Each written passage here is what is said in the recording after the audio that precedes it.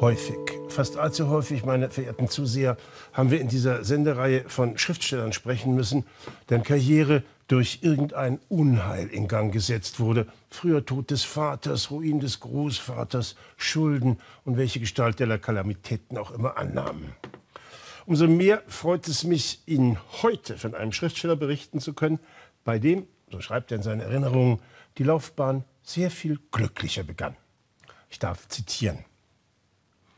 Und hier gedenke ich jenes viel weiter zurückliegenden Tags, an dem die Mama mich aus dem Kinderbettchen mit dem grün gestrickten Gitter emporhob, in ein weißes Kleid steckte und auf einen Stuhl an das Tischchen setzte, an dem mein erster Lehrer, ein Herr Franke, mich zur ersten Lektion erwartete, mit dem Finger auf die aufgeschlagene Fibel und in gütigem Ton begann, siehst du, das ist ein A. Auch so kann eine Einführung in die Literatur beginnen. Der so vom Schicksal begünstigte hieß Arthur Schnitzler. Er war damals fünf Jahre alt. Mithin schreiben wir das Jahr 1867. Der Ort ist naturgemäß Wien, selbstverständlich Wien. Wenige Schriftsteller werden so mit einem Ort verbunden wie Schnitzler mit der österreichischen Hauptstadt, mit einem erinnerten, erträumten, bisweilen auch erdichteten Wien. Die Zeit, in der er als Dramatiker und als Novellist berühmt wurde, wird je nach Standpunkt des Betrachters die Belle Époque oder das Fin de siècle genannt, die schöne Epoche oder das Ende des Jahrhunderts. 1866 hatten die Österreicher eine schmerzhafte militärische Niederlage gegen Preußen erlitten. 1873 sollte Wien mit der fünften Weltausstellung zeigen, dass das Land wieder zur vollen Blüte gekommen war. Es war eine Zeit, in der das Rollenspiel, die Demonstration, die Gäste, auch das Dekor im privaten wie im öffentlichen Leben eine ganz besondere Rolle einnahmen. Der gehobene künstlerische Geschmack wurde durch den Künstler Hans Mackert bestimmt. Wenn Sie, verehrte Zuseher, an üppige Wandbehänge, an ausladende Kronleuchter und schimmernden Plüsch oder besser noch Doppelplüsch denken, dann liegt Ihre Vorstellung ganz richtig. Für das Bürgertum war Optimismus die Pflichtreligion. Das half nicht immer. In jenem Jahr 1873 erlebten die Wiener nämlich auch den größten Börsenkrach ihrer damaligen Geschichte. Arthur Schnitzlers Familie gehörte zum gehobenen jüdischen Bürgertum. Der Vater war ein berühmter Professor für Kehlkopferkrankungen. Auch die Mutter stammt aus einer bekannten Arztfamilie. So lag es mehr als nahe, dass der junge Arthur eine ähnliche Karriere anstreben sollte. Klar. Es hatte sich schon früh gezeigt, dass dessen Herz mehr für die Literatur schlug. Doch der Beruf eines nicht, selbst nicht sonderlich begabten Mediziners, so fand der Vater nicht ganz zu Unrecht, bietet in aller Regel mehr ökonomische Sicherheit, Sicherheit als der eines hochbegabten Literaten. Und Vater Schnitzler übte einigen Druck aus, damit auch sein Sohn dieses begreife. Schnitzler absolvierte also mehr widerwillig sein Medizinstudium, wurde 1885 promoviert, arbeitete dann als Assistent seines Vaters, später in seiner eigenen Praxis. Das erzähle ich Ihnen, meine Damen und Herren, nicht der biografischen Vollständigkeit halber, sondern weil die medizinische Tätigkeit in manchen Punkten den Schlüssel auch für das literarische Denken und Arbeiten lieferte. Dabei kommt es mir ganz besonders auf zwei Aspekte an. Einmal, wir bewegen uns in der Zeit kurz vor der Wende zum 20. Jahrhundert, einmal spielten selbst bei der Behandlung der an Hals-, Nasen- oder Ohren leidenden Patienten noch die Techniken der Suggestion, mehr noch der Hypnose eine recht bedeutende Rolle. Beide Techniken haben mit dem menschlichen Bewusstsein, dem Unterbewusstsein, der Selbstbestimmung, dem freien Willen zu tun. Das wurden die zentralen literarischen und psychologischen Themen jener Jahrzehnte. Nun war, und das ist zum zweiten Schnitzler, aber kein Systematiker. Er orientierte sich an Fallbeispielen. Da gab es zwar verbindende Themen, doch kein Fall konnte je mit einem anderen übereinstimmen. So ein Umstand kommt der Literatur sehr entgegen. Sieh an, verehrte Zuseher, wohin ich Sie führen will, in die Welt der Seelenkunde. Die Lebensläufe von Sigmund Freud und Arthur Schnitzler verlaufen ja fast parallel. Die beiden kannten, schätzten und lernten auch voneinander, doch Schnitzler hielt immer einen höflich vorsichtigen Abstand zur Systematik von Freud, bei dem diese zu rigide erschienen. Nehmen wir eine der ganz frühen Novellen. Sie trägt den Titel Sterben und erzählt von Felix und seiner geliebten Marie. Der junge Mann erfährt, dass er wegen einer Lungenkrankheit nur noch ein Jahr zu leben hat. Marie verspricht, mit ihm gemeinsam zu sterben. Das kittet die beiden Liebenden zunächst noch stärker zusammen, doch nach und nach melden sich auch immer stärker wachsende Ansprüche auf Selbstbestimmung.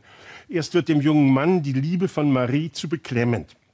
Er möchte frei sein, jetzt wo er nur noch so kurz zu leben hat. Umgekehrt empfindet Marie gegen Ende der Erzählung ihren Treueschwur wie ein Anschlag auf ihr Leben. Schließlich stirbt Felix. Marie wird aber von einem Arzt gerettet.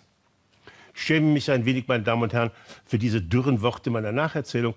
Umso mehr werden Sie es genießen, wenn Sie die klare, empfindsame, wunderbar abgestimmte Sprache Schnitzlers im Original nachlesen. Und es geht naturgemäß nicht nur um die Sprache, es geht auch um einen atemberaubenden Handlungsablauf, der einen ganz, ganz großen Dramatiker ankündigt. Und noch ein Wort zur Sprache. Schnitzler führt in dieser Novelle ein in der deutschsprachigen Erzählkunst zuvor nur ganz, ganz selten und nie so virtuos benutztes Ausdrucksmittel ein, den inneren Monolog. Es ist nicht mehr der allwissende Erzähler, der uns berichtet, was in dem Helden vor sich geht.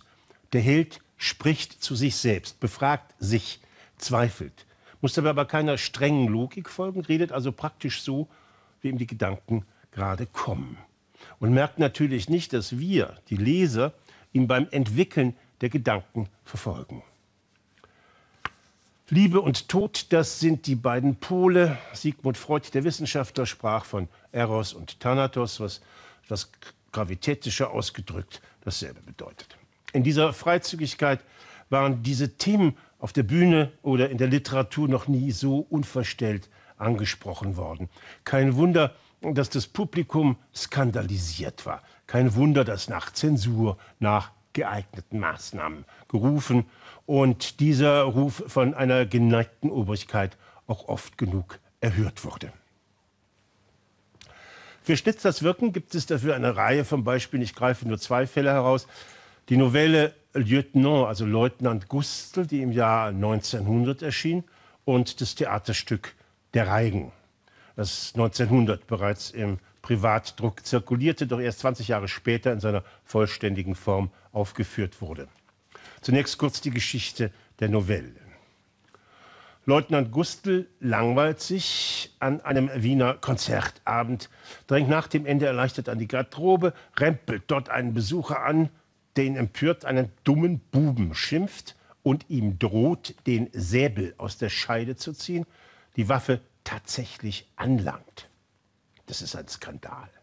Aber der Leutnant ist machtlos. Einmal, weil der andere stärker ist als er. Zum Zweiten und viel entscheidender, der Kerl ist ein einfacher Bäckermeister, den Leutnant Gustl aus seinem Kaffeehaus kennt. Und das bedeutet, er ist nicht satisfaktionsfähig. Der Leutnant kann die Kränkung, die ihm, seiner Waffe, damit dem ganzen Militär widerfahren ist, nicht wie sonst üblich durch ein Duell aus der Welt schaffen. Also beschließt er, sich gleich am nächsten Morgen eine Kugel in den Kopf zu schießen. Die Nacht wandert er durch den Prater. Am Morgen beschließt er sich, vor dem Tod noch ein letztes Frühstück zu genehmigen. Im Kaffeehaus erfährt er dann, dass in der Nacht ein Wunder geschehen ist. Ein veritables Wunder. Sein Beleidiger ist am Schlaganfall gestorben. Dieses Wunder ist, wie unser Held es ausdrückt, ein Mordsglück. Schließlich erspart es ihm die Kugel. War das österreichische Militär wegen dieser offensichtlichen Satire beleidigt?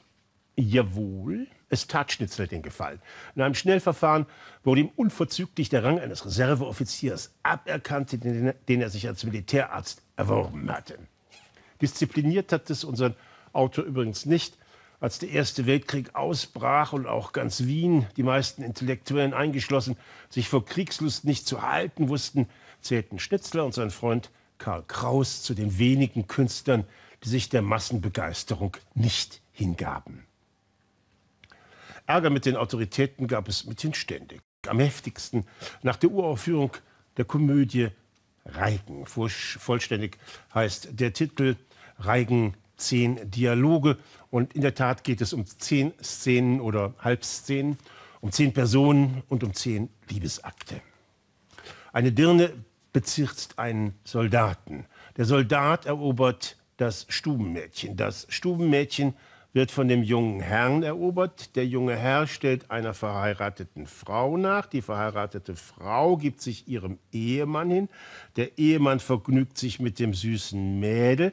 Das süße Mädel erliegt dem Zauber eines Dichters. Der Dichter verfällt einer Schauspielerin. Die Schauspielerin erringt die Gunst eines Grafen. Der Grafen landet bei der Dirne, die wir aus der ersten Szene kennen. Der Kreis der Reigen hat sich geschlossen.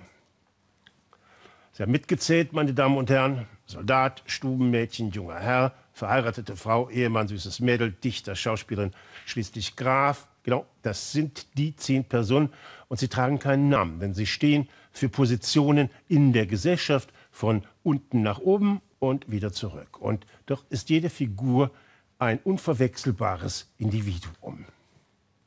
Ein bedeutender deutscher Germanist hat darauf hingewiesen, dass diese dramatische Form des Reigens eine große Verwandtschaft mit spätmittelalterlichen Mysterienspielen ausweist mit dem Totentanz. Oder denken Sie an modernere Stücke, etwa an den Jedermann von Hugo von Hoffmannsthal.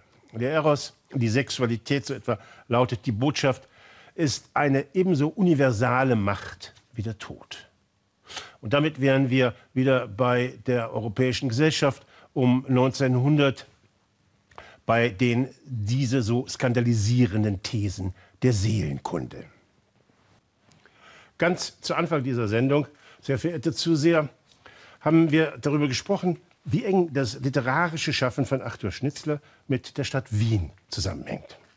Und dürfen Sie hier um Gottes Willen nicht an ein Pralinenschachtel Wien denken, an Abende beim Heurigen und gelassen äpfelnde Lipizzaner in der Hofreitschule. Für Schnitzler war seine Stadt der Nährboden für all jene kulturellen Blüte- und Verfallserscheinungen, die er als Schriftsteller beschreiben, sezieren und in Personen zum Leben wieder erwecken konnte. Dieses Erschaffen von Individualität und gleichzeitiger Allgemeingültigkeit war Teil seiner Genialität. Und Wien war dabei so genau getroffen, dass lange Zeit Bühnen in Deutschland zur Aufführung seiner Werke stets Kollegen aus Österreich engagierten. Hat es ihm die Stadt gedankt? Nun ja, später. Als er 1931 starb, hatte sich der Antisemitismus auch dort bereits so sehr ausgebreitet, dass er ihm Stoff für seine Stücke bot. In seiner Kindheit hatte er derlei noch nicht erfahren, wie er in seiner Autobiografie schrieb. Es war eine behütete Kindheit, wir haben davon gesprochen. Und deswegen darf ich Ihnen zum Ende die ersten zwei Zeilen des allerersten Gedichtes vortragen, das der kleine Arthur im Alter von sieben nach einem Opernbesuch verfasste. Figaros Hochzeit ist vorbei, doch immer noch hört man Arthurs Geschrei. Auch in der Selbstironie kann man von einem begnadeten Schriftsteller reden.